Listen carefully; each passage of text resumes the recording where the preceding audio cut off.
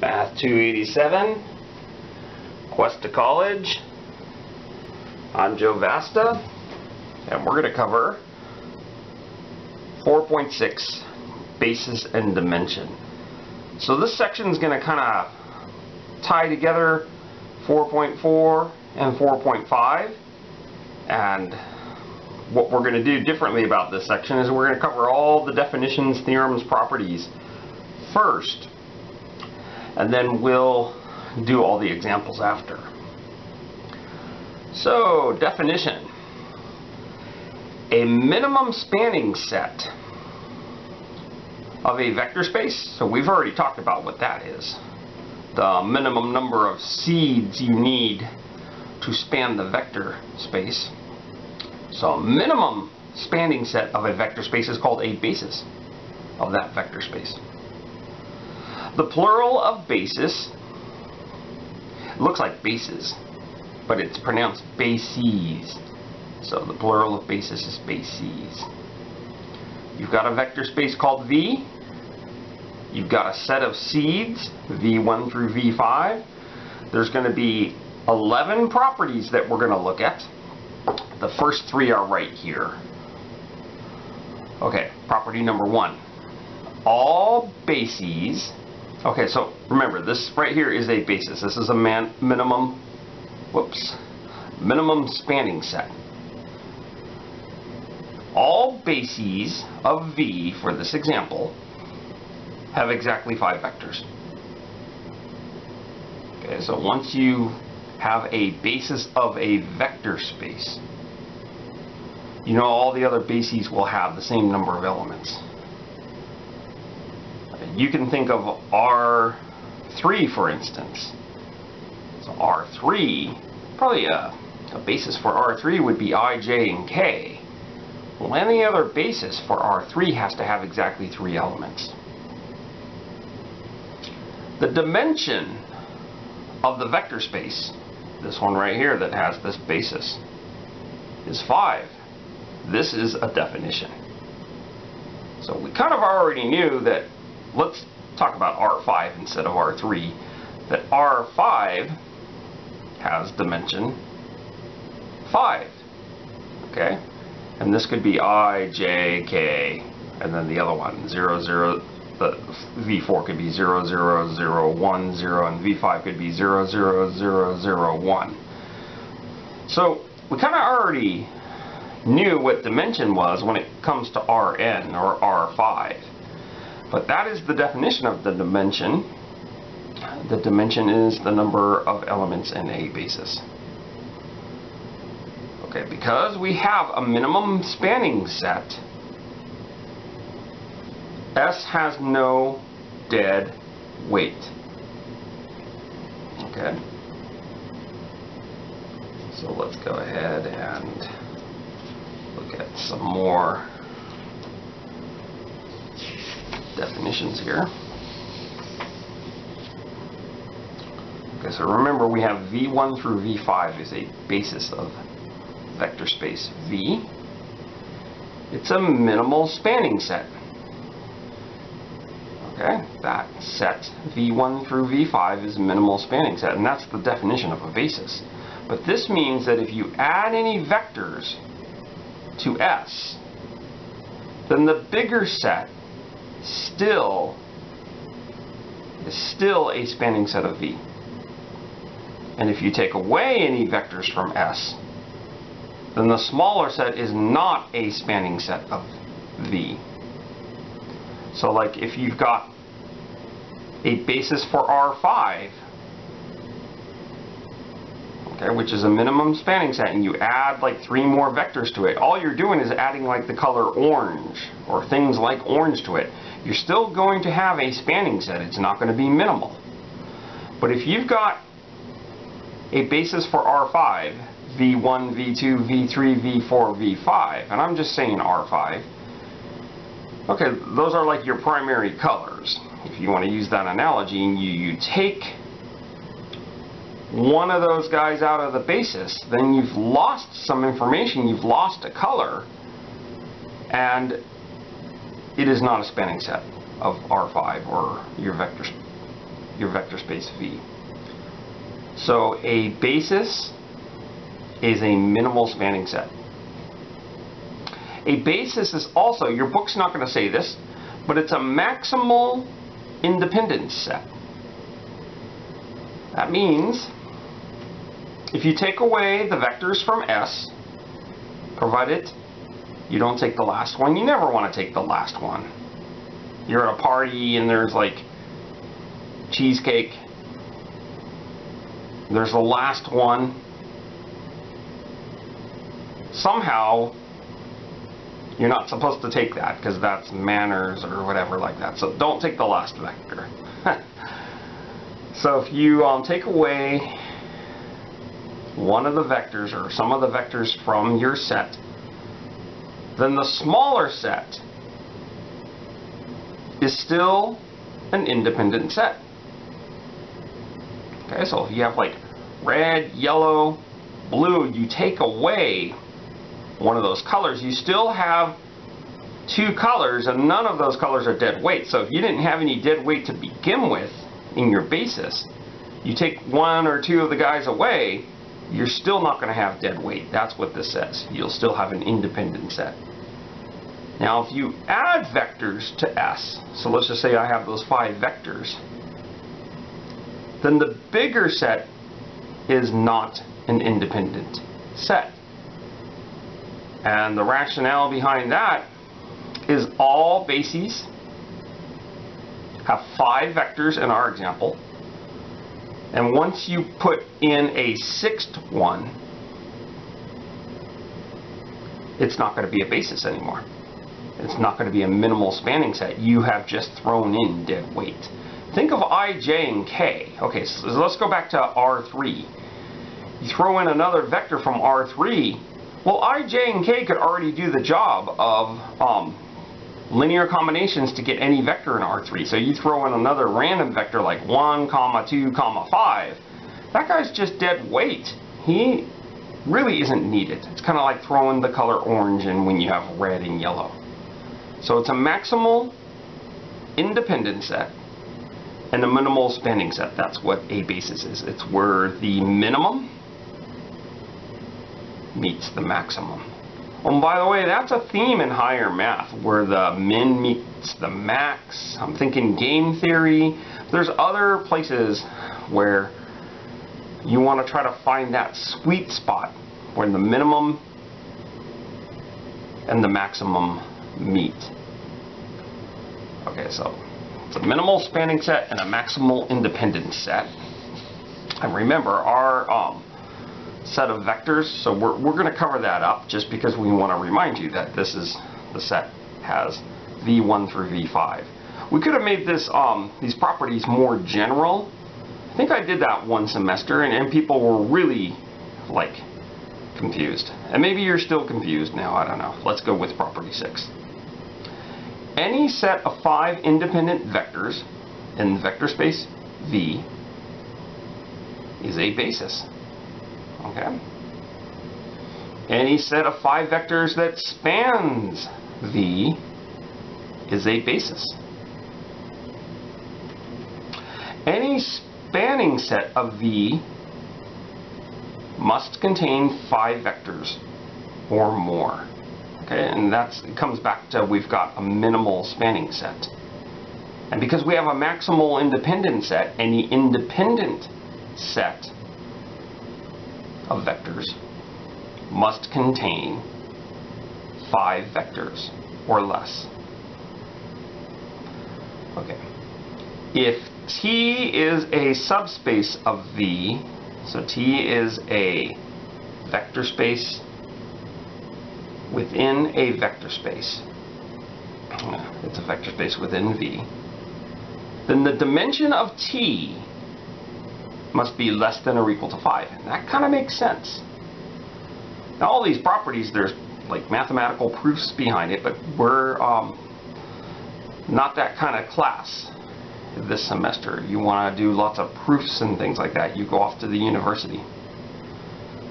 If T is a subspace of V, so we already know its dimension is less than or equal to 5, then any basis for t is part of a basis for v.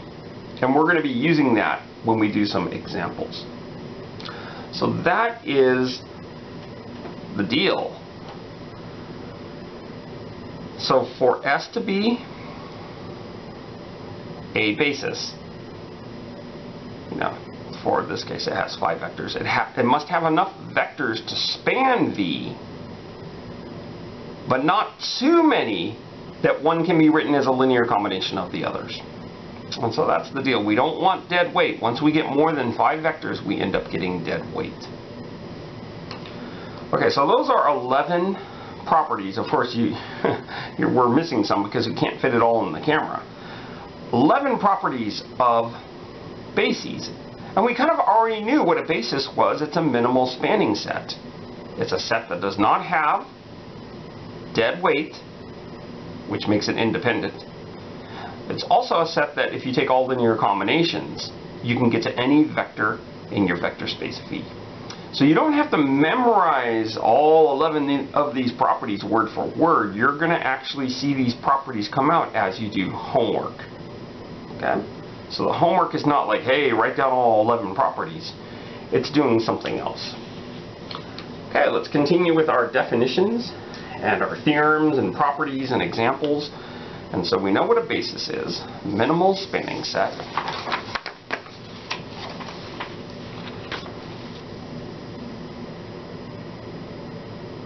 Okay, the next page. If a vector space V has a basis consisting of a finite number of vectors, then V is called a finite dimensional vector space.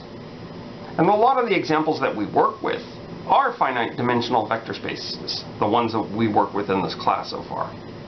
Like M2, the set of 2 by 2 matrices, or P3, the set of polynomials of degree 3 or less. Otherwise, if it's not finite dimensional, then your vector space is called infinite dimensional. And that would be like the set of all continuous functions on the interval negative infinity to infinity.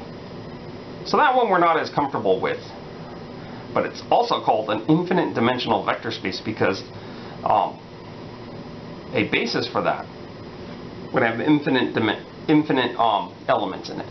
We don't want to think about that. We want to think about these ones now for this section. So now what I'm going to do is have a list. And here is our list. I'm going to um, name some standard bases. Well, first some vector spaces that are pretty standard that we'll see in here, and then we'll we'll do a standard basis, okay? Because we have vectors. There's there's lots of different bases that you can choose for R2. Okay, a standard basis would be this one, one zero and zero one. those guys have names. They're called I and J. Okay. The dimension of R2 is 2. Wow, it took us um, many minutes of lecture to get there. Um, we kind of already knew that. Now here's the deal. I and J, you know, your physics teacher really loves to use those. They have other um, names. It would be called vector E1 and vector E2. Now you might say, well, why, Joe? Why? Why can't we just call them I and J? You can, but they have other names. It's like maybe you know someone named Bob, and you found out, oh, well, his official name is Robert. Well, there it is. There's Robert and Thomas or whatever. I don't know. Okay, the, there's a reason math people do this and physics people do the I and J. Because physics people, when they're looking at R3, which they look at it a lot, then they'll use I, J, and K. And in the world of physics, probably good enough. We don't need to go in the higher dimensions. But mathematicians, they like to go in the higher dimensions. Sometimes we can be working in R7.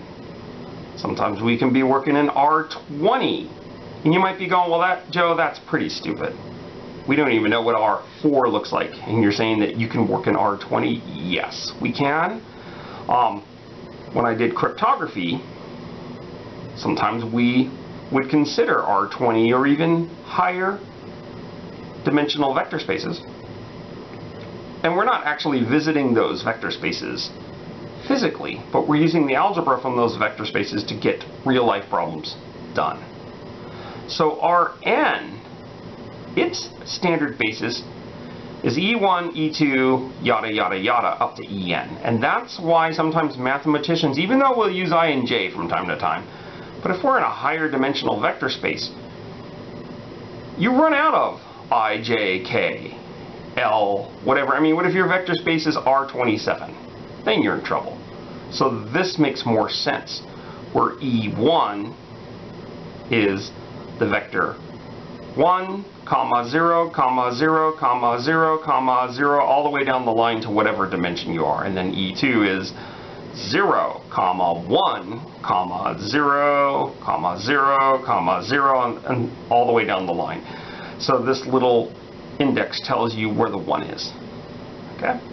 So what's the dimension of Rn? Well, if you count these elements, and it's kind of hard to count because there's a dot dot dot there, but you can imagine that there are n of them, and that's the dimension of Rn. Okay, let's go to some other vector spaces that we might feel a little more uncomfortable with. P3. Polynomials of degree 3 or less. Here's your standard basis, your standard building blocks for P3. 1, x, x squared, x cubed. Now you might be thinking to yourself, Joe, how, why? How does that get to everything in P3, polynomials of degree 3 or less? Think of linear combinations. You know, constant times this, plus a constant times this, plus a constant times this, plus a constant times this. Could get you any vector that's in P3 just like a constant times i plus a constant times j can get you anywhere in R2. So there's a standard basis. Now there are other bases for P3, but this is the one that I always run to if, if they give me a choice. Now here's the confusing part. Well, it's not that confusing, but it's just inconvenient. How many um, vectors in this basis? Well, one, two, three, four. So the dimension of P3 is 4. Dimension of Pn is n plus 1. Okay, so we gotta take special note on that and not get confused. Why? Because, I mean, you kind of are counting, this is your 1, your x, your x squared, up to x to the n, but we're counting that 1 too, because this is x to the 1, and so this is like x to the 0. And so there's n plus one of them there. Okay, so it's always one number higher than this index in terms of what is the dimension. Okay, so kind of like we went general here on problem number four. You know, we kind of generalized it on problem number two, and we'll do the same thing with problem six. So M2 R now your book sometimes says PNR and P3R. Lots of times, you know, sometimes you might see me leave that off. Um, that's there in spirit. It just means your polynomials have real coefficients, and then somehow on these ones I I put the R back in there. Um, well, that's all right. It just means the entries of the matrix matrices have real elements. So M2. So lots of times you'll just hear me call it M2. It's a set of all 2 by 2 matrices. It's standard basis is this right here, these four elements. If you take linear combination of these four elements, you get anything that's an M2. You get any 2 by 2 matrix. And look at this. You have 1, 0, 0, 0. Kind of reminds you of, you know, the, these elements here. Like if you were an R4, you'd get 1, 0, 0, 0. So this would be R4. And then 0, 1, 0, 0. Look at this. 0, 1, 0, 0, and then 0, 0, 1, 0, and then 0, 0, 0, 1. So it kind of reminds you of that. And so these matrices here have notation. And wherever the 1 is, we describe that with the subscript. The 1 is in the first row, first column. So this matrix here is called E11 because the one here is in the first row, second column, we call this E12, and so on. So that's what it is. Now we didn't have any room because on all these definition sheets, which you have on the website, I had to make the font bigger so the camera, you know, so it would show up on the video. So what happens, what's the dimension of M2? I had to put it underneath. It's 4, because there's 4 elements there. Okay. Now consider M by N matrices. Well, I'm not going to write them all down, just like I didn't write all these down. I put dot dot dot here. And I'm actually going to be a little more clever with number 6 than I was with 4 or 2 this basis for m by n matrices is Eij. It's kind of like listing all those, where i is between 1 and m inclusively, and j is between 1 and n inclusively. Because that's a lot of matrices. If you feel uncomfortable with this, then maybe you can write M 2 by 4 and then list them all out and you'll see, oh, and you will get this as well, that the number in this basis happens to be M times N. And maybe it kind of makes sense because you just keep moving that one. It's in the um, first row, first column, and then it's in the first row, second column, and you move that one all the way through the matrix, um, putting zeros everywhere else. You're going to hit the number of elements that would be in a typical matrix like this. And so these are the standard bases. We will see them as we do some homework problems. Now let's go ahead and continue. And like I said, the first part of this lecture is a really weird because I'm doing all the definitions, examples, you know, like we just did an example. But they were really definitions of standard bases and theorems all first. And then um, we're going to then do some writing and do some examples. Theorem. If the dimension of your vector space is n, and S is a set of vectors, then the following statements are equivalent. Okay, so S is a basis. And that's going to be equivalent to S is linearly independent and S spans V. Okay. So, what does this mean? This means in your homework, they're going to say, is S a basis? So, if you can count, I think yeah, if you can count your vectors, then you're going to be in good, good shape here. And really, I mean, let me take out a red pen. I think what I want to write in here, S is a set of n vectors. Okay. I don't think we need that, but I'm going to put that. So S is a set of n vectors, and the following statements are equivalent. Okay. Theorem. If V is a vector space with basis B, okay, so now you've got a basis, then every vector in V can be written uniquely as a linear combination of the vectors in B. So if you've got a basis, you're using that basis to write linear combination of a vector that is not in the basis, there's only one way of doing that. And that's good, because we've seen some examples where, well, it wasn't a basis, but we, we had a set of seeds, and it was found that we can write another vector that wasn't in that set infinitely many different ways. So you can look back on one of those lectures and see that we did that. Okay, so that was a lot of theorems and definitions. And now the rest of this lecture is me working out examples, examples the kinds that you would see in your homework.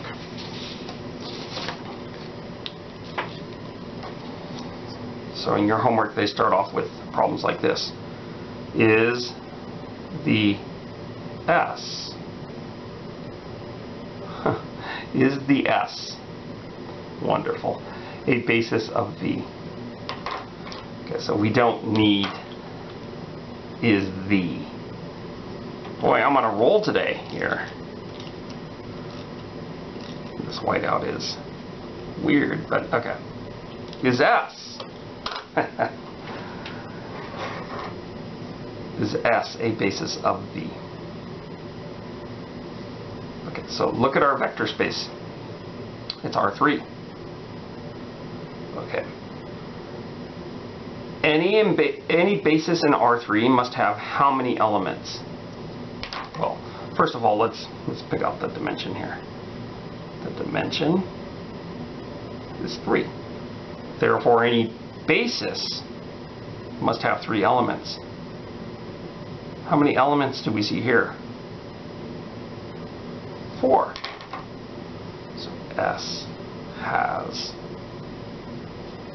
four elements. And if it was a basis, it would only have three. So uh, is S a basis of V? And the answer is no. So there are some of your problems in your homework where all you have to do is count the number of seeds and go, oh, it doesn't match with the dimension, game over. Let's go ahead and do another one. That was pretty simple. For all those complicated definitions and theorems, I mean, you're just like, wow, we could have just not done those. But there, there's a good theory there. V is the S. uh, okay, get rid of the. Okay. Is S a basis of V? So V is P2. Polynomials of degree 2 or less. What is the dimension of that? The dimension of P2 is 3. Okay, look at S. It's a set of seeds. How many elements do we see in set S? One, two, three. So S has three elements. Okay. So we can't answer the question yet. Some of you are like, well, just say yes. Well, just because it has three elements, it may have some dead weight in there. So we go back to that other theorem that says, okay, so you've got a set of vectors and you, you want to verify it's a basis, you can do any of the other things. So what I'm going to do, because it's the simplest for me, is check to see if those guys are independent. So it all goes back to the last section where I um, write up linear combinations of these. So this is C1 x plus 1 plus C2 x squared plus 1 plus C3 x squared plus x plus 1. What happened to that x? I don't know. There. Okay. Plus 1. This equals the zero vector of P2. The zero vector of P2 is 0. So this is C1x plus C1 plus C2x squared plus C2 plus C3x squared plus C3x plus C3 equals 0. Okay, so now I'm going to go ahead and circle all the terms that have x squareds in them. Now some of you are saying to yourself, well, this looks like stuff we've done in earlier lectures. Exactly. So that's what might make your homework in 4.6 a little less challenging than 4, 4, and 4.5.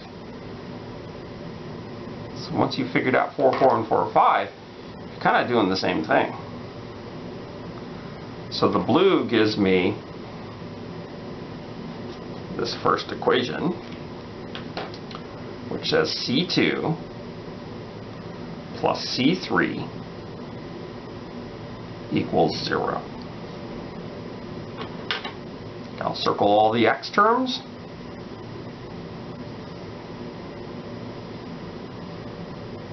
Notice I put some zeros on the um, right hand side as I was talking. And so the orange equation is gotten from the coefficients C1 plus C3 equals 0. Let's pick, not that we need another color, I think we get this without the color. But some of you want to see everything circled in color, so that's what I'm doing here. So this one gives me C1 plus C2 plus C3 equals 0.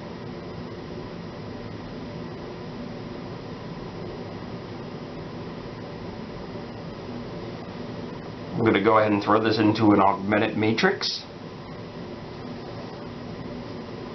0, 1, 1, 0. First row is the first equation. 1, 0, 1, 0. 1, 1, 1, 0. Now you might be thinking to yourself, what are we doing, Joe? I forgot. We're checking to see if these guys are independent. If they are, with all the theory that we read, if you have an independent set of three vectors, then that independent set, because the dimension is 3, will be a basis. Okay, so you do some row operations. I'm going to um, do those row operations for you because, you know, I think we've done enough in lecture where you understand row operations. And so I got that.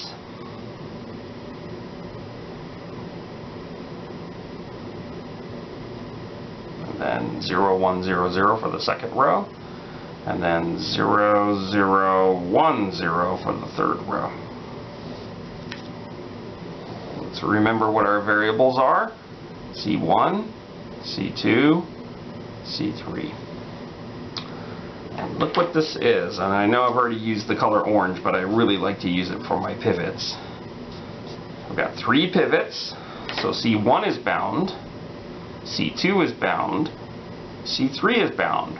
Which would mean if you went to finish solving this equation, you'd end up getting all of them equals zero.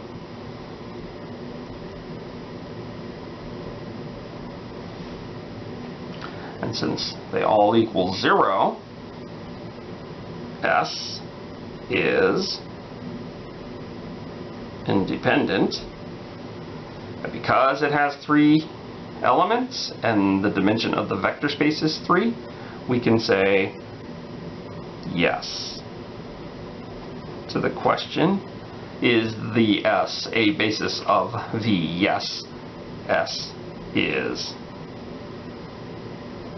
a basis. Okay, we could just say yes. And so it all came down to verifying whether that set here was independent. Now, had there only been two vectors in this problem, then we would have right away said no. Or if there had been like five vectors, then we would have said no, there would have to be three. Now, was it possible that they give us three and we end up doing this and we find out that one of these um, variables is free and then the answer is no, yeah, it was possible that one of these guys could have been dead weight. But not on this example. I mean, on this example, we ended up getting, there was no dead weight. This is an efficient machine. So we have an efficient machine. A minimal spanning set, a maximal independent set. It's a basis. Okay. So that completes problem number two. Let's look at Problem number three.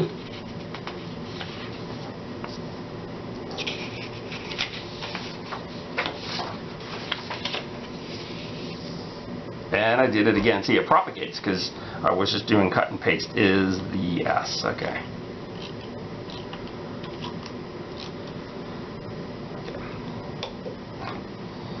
is S a basis of vector space V. Okay, so vector space V here is 2 by 2 matrices. The dimension of that happens to be 4. Okay, that's the 2 by 2 matrices. Now look at our set of seeds they give us. One, two, three. Look. S has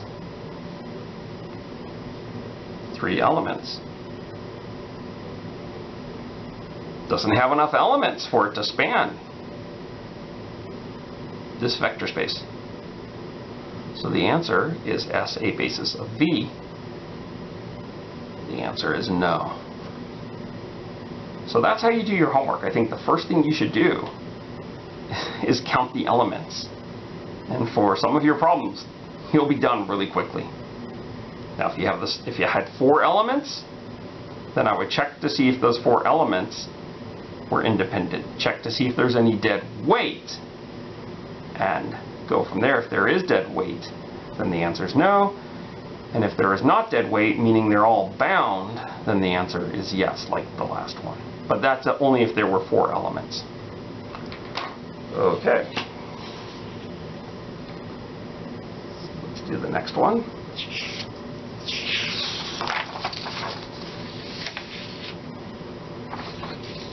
Okay, find null space. Basis of null space. I forgot to put a bracket in here.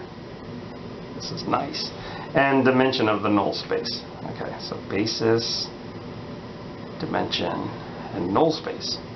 So they ask you problems like this in your book. And so how do I find the null space? Once again, what the null space is, is you consider this. AX equals the zero vector. The null space is all the solutions to this. And so what I've got to do is write the augmented matrix, add the right-hand side vector, which is just going to be 0, 0. So that's what I'm going to do.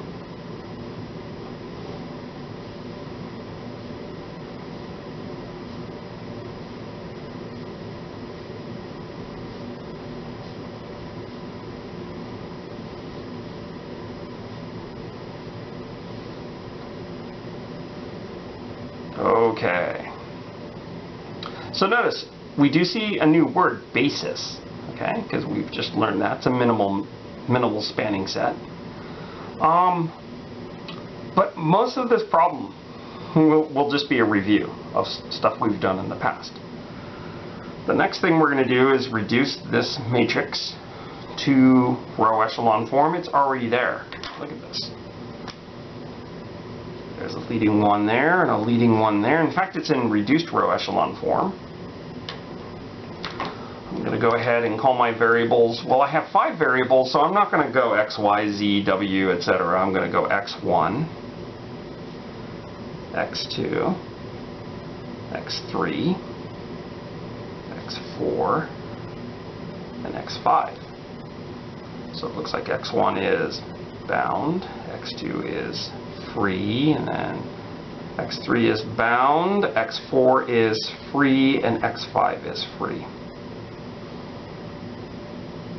Okay.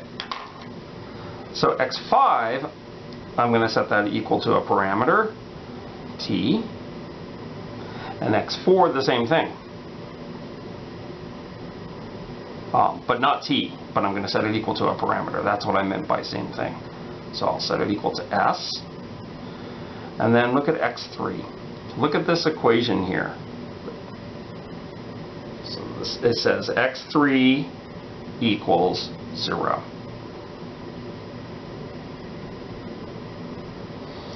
X2 is free, so I'm going to go ahead and I'm walking backwards through the alphabet. T, S, R.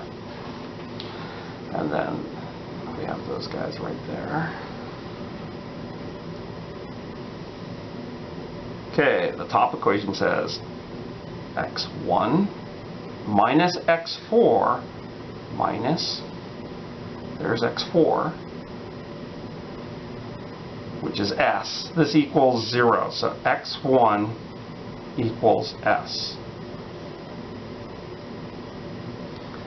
Okay, so my null space, this is not going to be my final answer, but it looks like this. S, comma, R, comma, 0, comma, S, comma, T. S rust, whatever that means. Okay, common mistake people do is they do this on the exam and then they list them in the other order. So don't do that, okay? Because you're supposed to put x1 first. This, was, would it be something I did when I was taking linear algebra? I'm not going to tell you. Yeah, yeah, I will. It would have been something I did. So the next thing I want to do is splactor. So when I splactor this, it's going to splactor into a linear combination of how many elements? Well, there are three different parameters there, so it's going to be three elements. So watch this. Um, I will go ahead and put the R here. So this is going to be 0, 1, 0, 0, 0, plus. And then we'll go with S, 1, 0, 0, 1, 0, plus T. And this is going to be 0, 0, 0, 0, 1. Or another way of saying that is E5. And then this is E2 and this one is, it is what it is. I mean, you could say E1 plus E4, but let's not do that. Okay, so let's answer. There's three questions it wants me to do. It wants me to find the null space, a basis of the null space, and the dimension of the null space. And we probably already know what the dimension is. Look, we have just written any element of the null space can be written as a linear combination of these three seeds. So notice I said three seeds. That's the dimension. Let's just go ahead and write them in order. The null space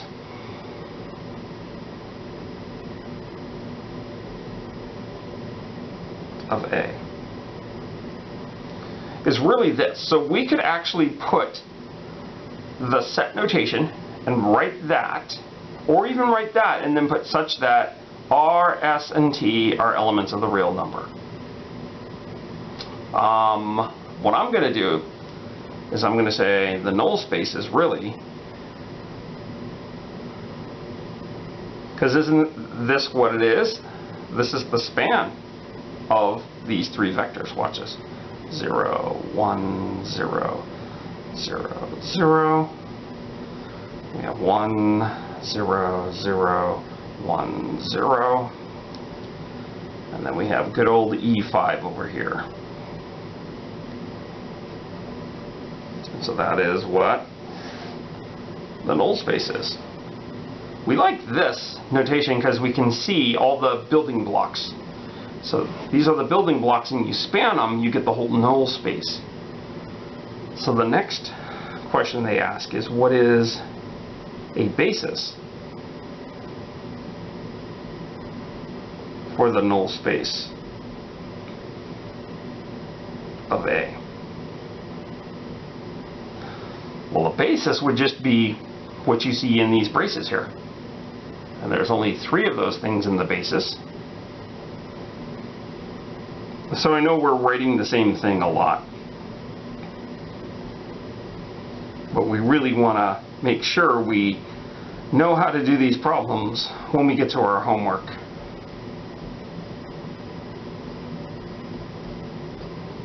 And so there's a basis. on the null space. Okay, so look, how many elements are in the basis? Three elements. How many elements are in the null space? Well, some of you might want to say three because you see three things here, but it's the span of those, so infinitely many elements. Let's answer our last question, which is the dimension. I'm running out of space, so I'm going to get a little lazy here null space A. And that happens to be 3. So in your homework, when they ask a question like this, this is how you do the problem. Okay, so we have, I think, three more problems left. Let's go ahead and take a look at them.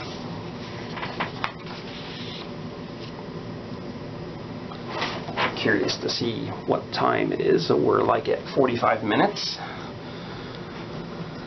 Okay, so we um, are asked in the last three problems that I'm going to do, we're asked to find five things. Okay, so first of all, what do we have?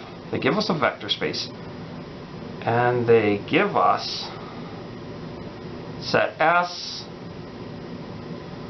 which looks like a set in the vector space.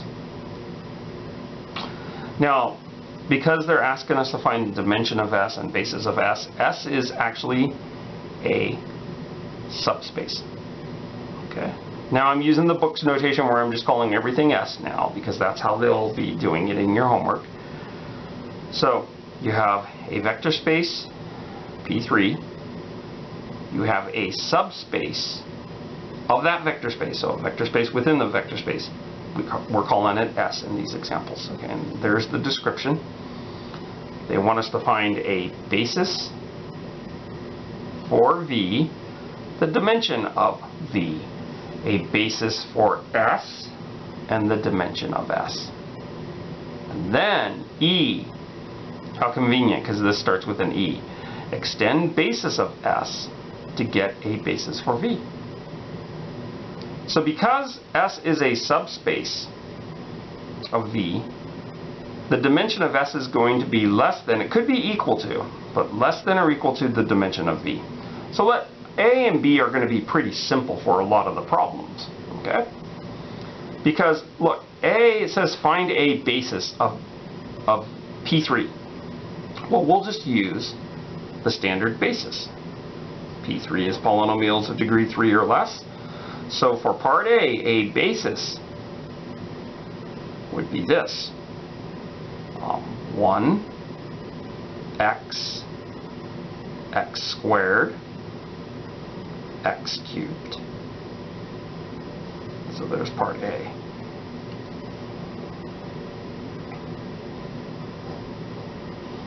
Part B, it asked me to find the dimension of P3. Well, there are four elements in the basis, so the dimension is 4.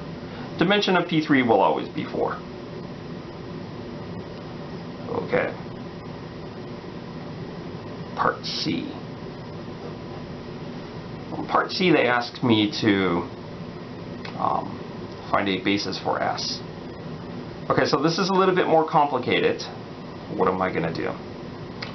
Let's just write out what an element of S looks like.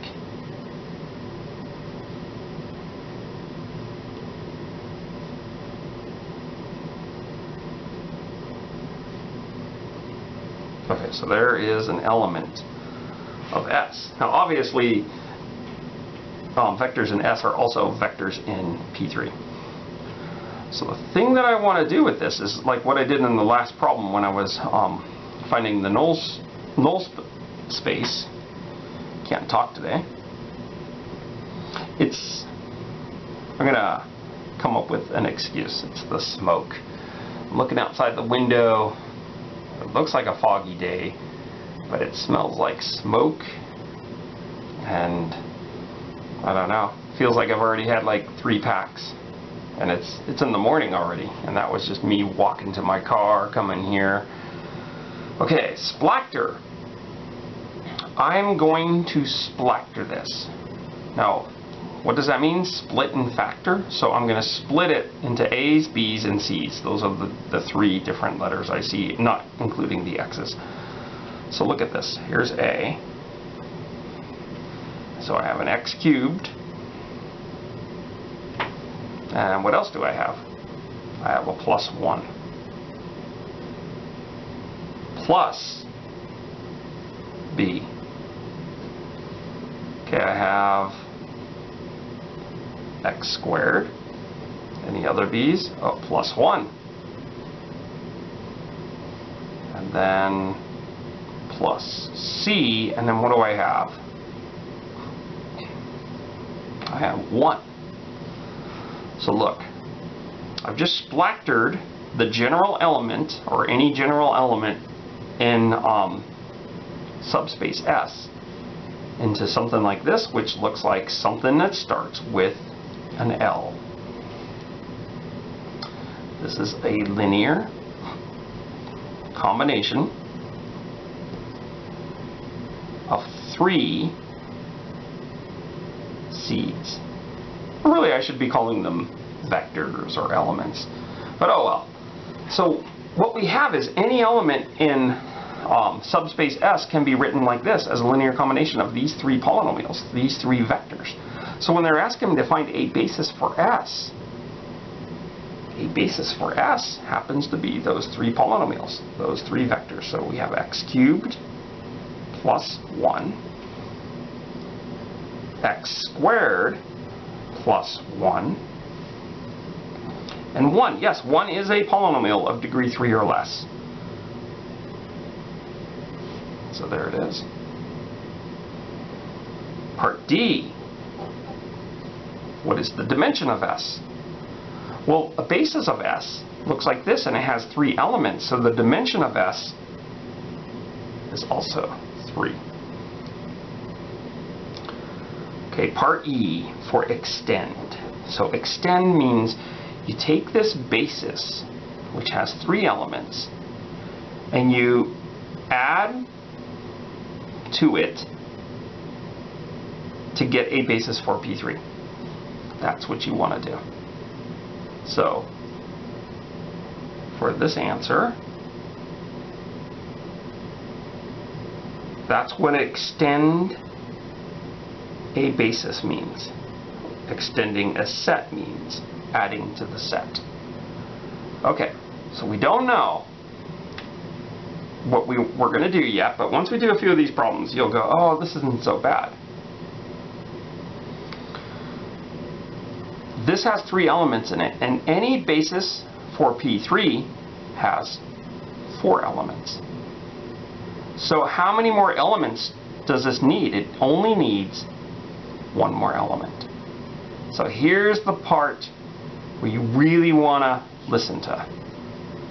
When extending a basis, it's a good rule of thumb to always consider adding one of your basic building blocks from your standard basis of the big vector space. Okay, so I'm looking at this, 1x, x squared, x cubed. Sometimes it's going to seem like all you do is eeny, meeny, miny, mo, you close your eyes and you pick one. But on this one, I'm telling you, you, you don't want to do that. In fact, on all of them, you want to look and say, well, is something missing? You know, like when I was writing this, was there some kind of polynomials in P3 that are not included in here? And so, you know, look at these vectors closely. 1, x squared plus 1, x cubed plus 1. Is something missing? And you may have to pause the video and think about it for a few minutes. That was kind of weird when I said you might want to pause the video and think about it. Then, of course, my camera shut off. Okay, so the camera's got problems. It shuts off after 50 some minutes. Well, anyway, so hopefully you thought about it. Um, the thing that seems to be missing here is an x. Like, you do any linear combination, you, you consider this set, you're never going to get a polynomial that has an x term in it. So, probably a good thing to add is the x. And so look, this right here is a basis for V. Look, one, two, three, four. Are bases for um, P3 unique? No, this is your standard one. This is a non-standard one, but this is what we needed to do. We couldn't just write this for the answer for extending the basis because that wouldn't be extending this basis. Extending this basis, you would have to write this basis plus another element. Here's the answer. Now for all you math purists, you're like, wait a minute, Joe. Are we sure this is a basis? So if you want to be sure, let's check to make sure it's independent or check to make sure there's no dead weight in there. I'm going to go do that by writing linear combination of those.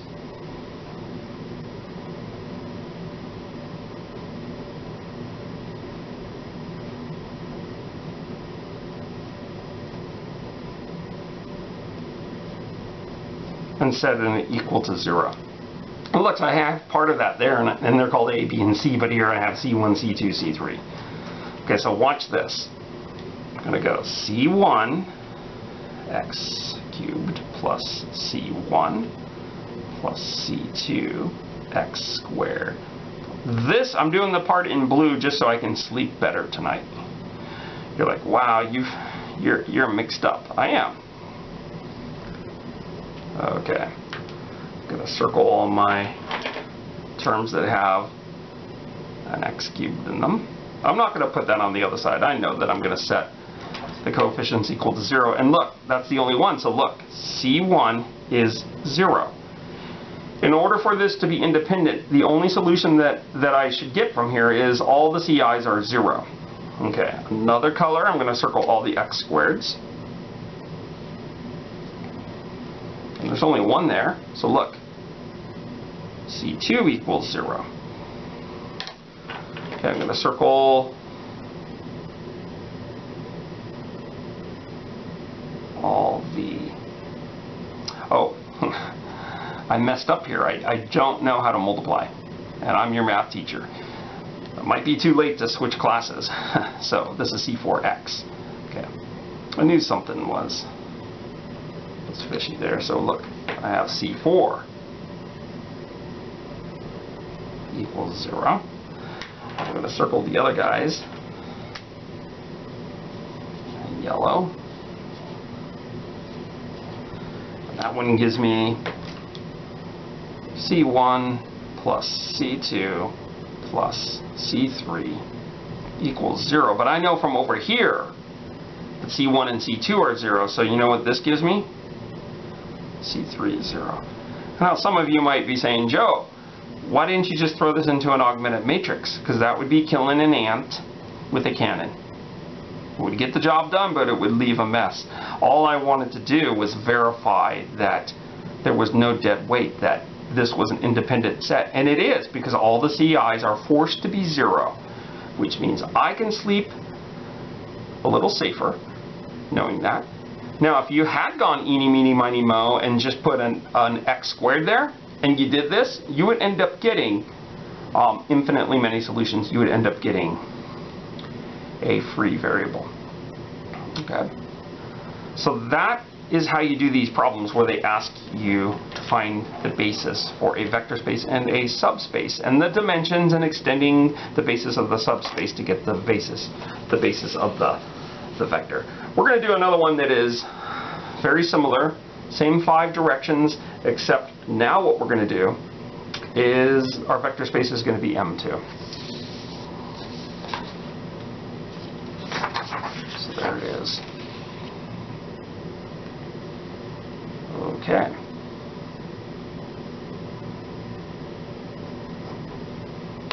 Using the wrong color here.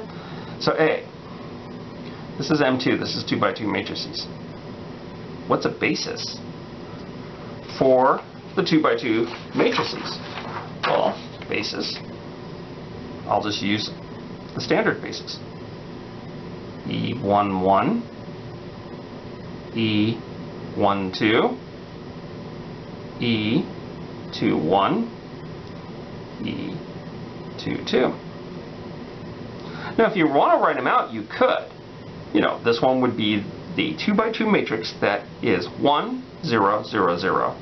This one would be 0, 1, 0, 0, and then this would be 0, 0, 1, 0, and this would be 0, 0, 0, 1. Okay, well that would take more time to write out. Also note, when they say find a basis for, for V, most of the time, well all the time I'm going to pick the standard basis Could you pick like one, two, three, four, and then the next one some other random two by two matrix and just kind of create your own? Yes. The problem is you might end up, especially if you're just randomly picking two by two matrices, you might end up picking a set that is dependent, that has some dead weight. So that's why it's always best to go with your standard basis on this problem here. What's the dimension of M2?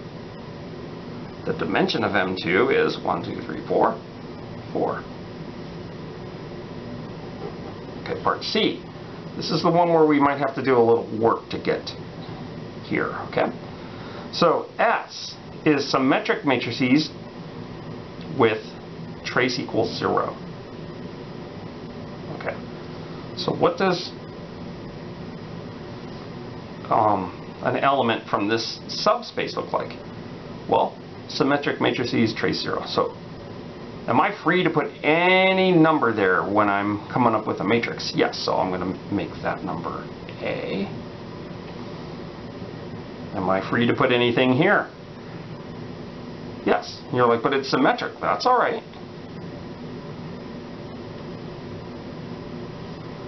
Am I free to put anything here? And the answer is no.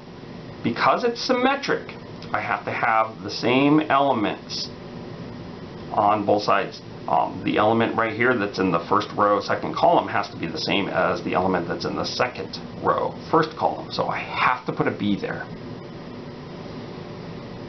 Am I free to put anything there? And the answer is no because the trace equals zero. The trace is when you add up the main diagonal. That main diagonal has to add up to zero, so I absolutely need a negative A there. So that is what an element, any element from subspace S looks like. Okay? So what do we do with this? We're going to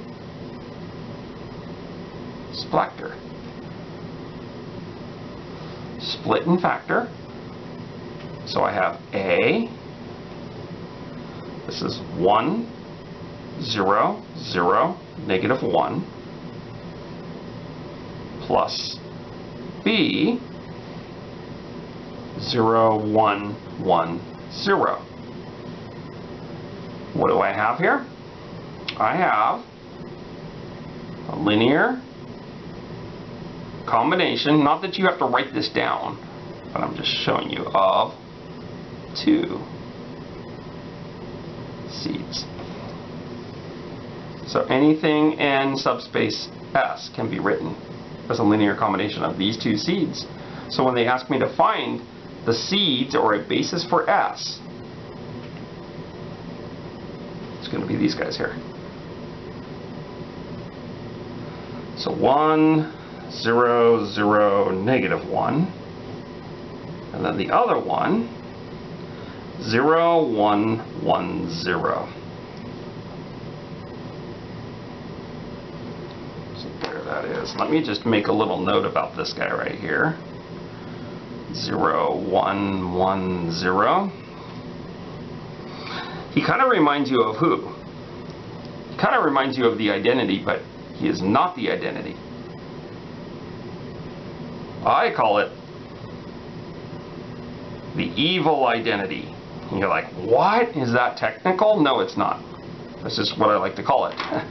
okay, so most other math instructors instructors would ridicule me for that. They were like, why do you call that the evil identity? Because it's funny.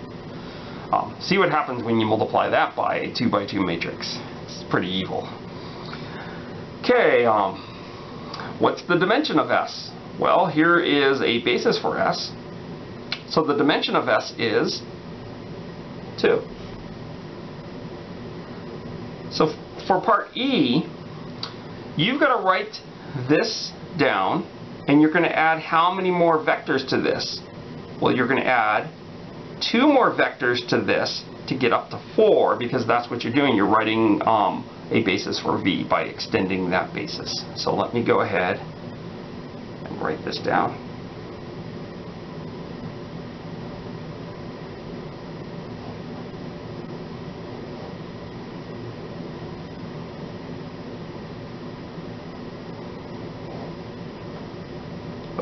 Okay, so what to write? What are we going to write here?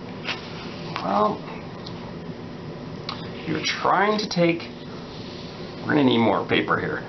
We're trying to take like linear combinations of these. And when you do just this set,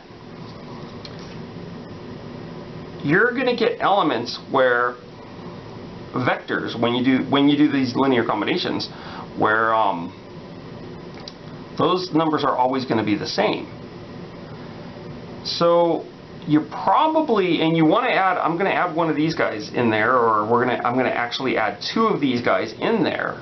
And we can do this because of that last theorem or maybe it's one of those theorems we saw where we can extend, maybe it was the, the um, sorry, it was, may have been the last property on that long list of properties. So we can do that. We're guaranteed that we can do this.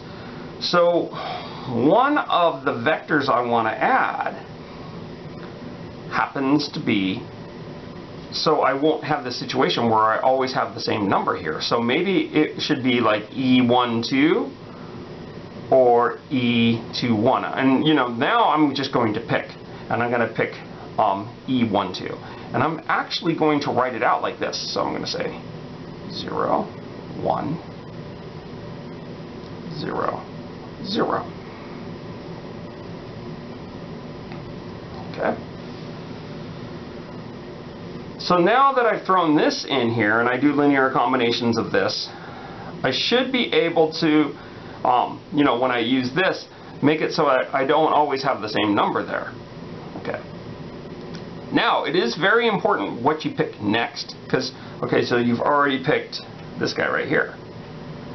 Now, suppose you did go eeny, meeny, miny, oh, between the other three, eeny, meeny, miny, mo, and you just like went out and did that, and then you said, okay, so I'm going to write the wrong matrix here, and I'm going to correct it with the whiteout. Suppose you said, oh, well, uh, let's just pick this one here. Well, there's a problem with this. Well, we can run through the whole, let's write this as a linear combination, set it equal to 0, 0, 0, 0, you know, the zero vector, and then find that there's dead weight in here. But you might be able to see that because look what happens when you take that matrix and add it to this matrix. So you have this matrix plus this matrix actually gives you this matrix right here. So we have just written this matrix as a linear combination of these two, which means you've got dead weight in here, so you cannot add that one. So I'm going to put a zero there. You don't want to add the zero vector either. Okay, so that's what it looks like I'm adding. What you want to add to make it so these guys are not always going to be opposites is either E11 or E22. And you're like, well, so I can pick. Yeah, the answer here is not going to be unique. Um, what I'll add is E11.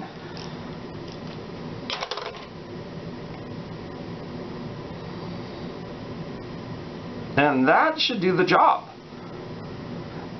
Now, why do I have another piece of paper here? Is because what I'm going to do is I'm going to um, just verify really quickly that these guys um, make up an independent set, therefore a basis. So um, I have C1, 1, 0, 0, negative 1, plus C2. So I'm writing out linear combinations of those. Oh, why did I do that? Okay, come on. This thing. Okay, so my whiteout is is acting up. Okay, I think I fixed it. Oh, what's happening there? Okay, so that is one, zero. Okay, so we're back on track here. C3, zero, one, zero, zero, plus C4, one, zero, zero, zero. I'm saying that we could have put um, E22 there. Almost didn't have enough room here. Once again, uh, put, I'm setting this equal to the zero vector. Now the advantage of pulling off vectors from your standard basis to um, extend your basis for S is that when you do check to see if these guys are independent, um, you're going to have lots of zeros and you will usually be able to eyeball it. And what do I mean by that? Let's go ahead and check this, and we'll come back to this page after I'm done with this. So look, if you take the, um, the entry from the top left, you'll end up getting C1 plus C4 equals 0. So that's top left. Top right, you would end up getting, well, there's a 0 there. So C2 plus C3 equals 0. Bottom left, you would end up getting 0 C2. Let's see. So 0 C1 plus C2 and then 0, 0. So C2 equals 0, which is promising. We like that. And then bottom right would be negative C1 0, 0, 0, 0. Negative C1 equals 0, which means C1 is 0, which would then um, help us with these guys here. So T, C2 equals 0 gives me C3 equals 0. And then this one gives me C4 equals 0, which shows that it's independent. Or another word of another way of thinking about that is there is no dead weight, which is good. No dead weight. It's independent, which means what I wrote down here for answer E is a basis. So let me box my answers kind of looks like a big shoe here. That is. Let me put some laces on it. There's, there's my answer. It's boxed up. Boxed up in a, like a shoe. Okay. Let's go ahead and do one last example. Okay. So this is the last example we're going to do. Finding all these five things, bases, of the vector space, dimension of the vector space v. Yeah, that should be simple. And then um, this, this other stuff. So um, vector space is R2. The subspace is just 0, 0. So this is going to be a weird one, but it's one that needs to be done for this class. Okay, what is the basis for R2? Or a basis for R2 would just be i and j. And I'm going to write them as 1, 0, 0, 1. And you can write them as ij if you want. What is the dimension of our vector space R2? Well, huh, there's two elements there, or maybe you just knew it was two. Okay. So, for C. Basis for S. So what does S look like? S looks like this.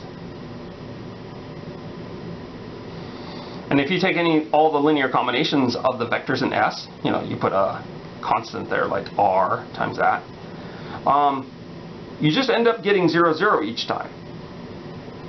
So a lot of us might think, well, let's go ahead and just put, um, for the basis, let's just put 0, 0. Well, we can't do that. Because remember, if the zero vector is in the set, like this set right here, then that set is dependent. and a basis has to be independent. So what do we do here? And this is going to probably confuse some of you. Well, we can't include 0, 0 because it's dead weight. So that's dead weight. So you have to cross it out. And when you cross that out, okay, so let's just go like this. Okay, so here's the set with 0, 0, and we know 0, 0 is dead weight. So we just cross it out. What are you left with? You're left with a set containing nothing. This will be the only time this happens, but the basis for subspace S that contains the zero vector is the empty set. So that will only happen when your vector space is the zero vector. I know that upsets people, but it is what it is. Once again, you can't say it's just going to be 0, 0, because 0, 0, that is dead weight. That would be a dependent set. Okay, how many um, elements are in the empty set? Let's count them. well, there are none. There are no elements. So, what's the dimension of S? It's 0. So let's extend this empty set, okay, because the, set has nothing in it. We're going to extend it by adding elements into it so we get a basis for RT, R2. So how many more elements do you have to add to um, something that contains nothing? You have two more elements to add. And usually I pick my elements to be elements, you know, from here, and there's two of them up here, so let's add them.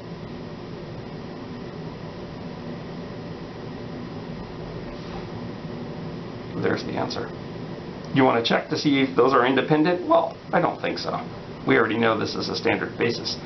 So that was our last problem. It was pretty weird. Um, that doesn't usually happen, but I have to, as a math instructor, I have to show you the example where the subspace is the zero vector. It just has to be done. I could lose my job if I don't show you that. So this concludes section 4.6. Do your homework. Have a good day.